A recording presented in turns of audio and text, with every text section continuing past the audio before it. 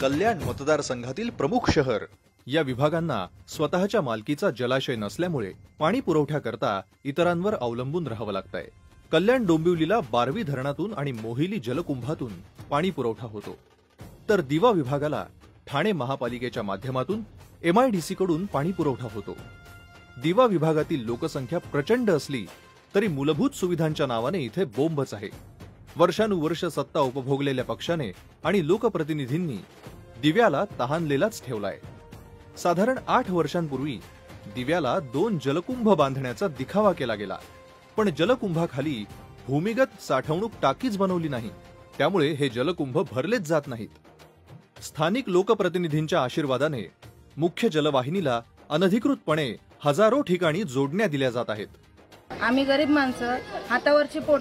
दहा दहा हजार रुपये पगार घेणार का आम्ही जर रोजचं सव्वाशे रुपयाचं पाणी विकत घेणार? विभागातील महिला आहेत त्यांची मानसिकता इतकी संपलेली आहे कोणाला आजार झालेले आहेत कोण रात्रीचं झोप जागरण घरात वादविवाद होतात त्याच्यामुळे. कल्याण डोंबिवली आणि दिव्याला पाण्याच्या बाबतीत स्वयंपूर्ण बनवण्याकरता महाराष्ट्र नवनिर्माण सेनेला तुमची साथ हवी आहे.